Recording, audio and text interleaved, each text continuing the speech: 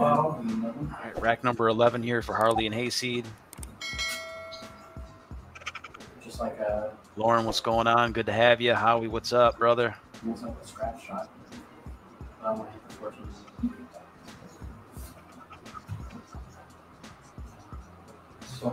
Thanks for joining us on some Saturday night Scotch doubles action.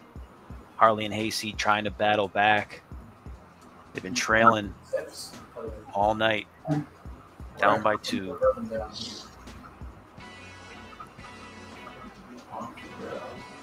Back over here so you have a shot at this. And try to hold it for the 10. Yeah. Like that. We've had a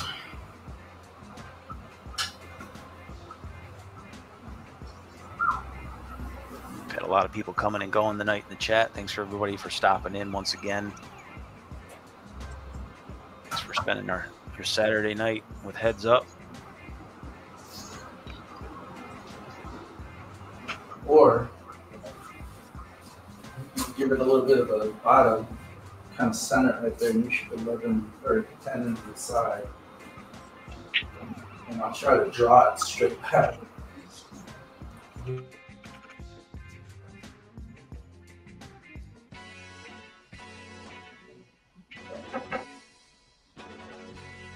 Uh, blue on this side.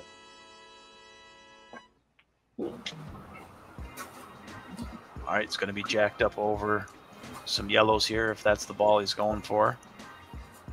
So basically, I just need to see the 10 and put you straight on. Yeah, as best as you can.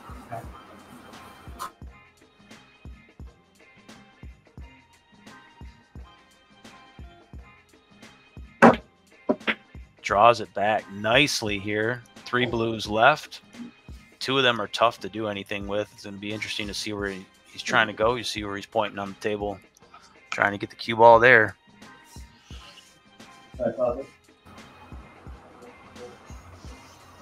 Oh man, God. Off the yellow, still goes. Ends up coming out smelling like a rose. Harley and Hayseed. worst shot ever in the history of ever. You know what? I think these guys have, have deserved it. They've they've had oh. some bad rolls tonight. Uh-huh. They were just due for something to give. That was nice. Yeah, for sure. I mean, something's got to give, right?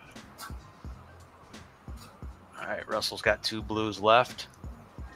These guys are fighting to stay alive. Just like what good old Jack Burton would say, the check's in the mail.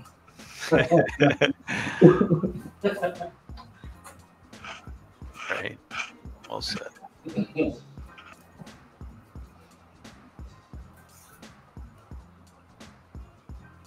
And she goes.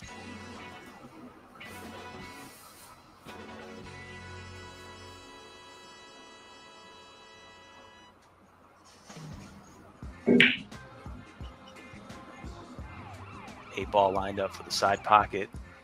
Are we looking at a dry and run? No, this be a if if I make it, this will be a breaking. It's a break and run. Okay. If I make it. If you make it, side pocket.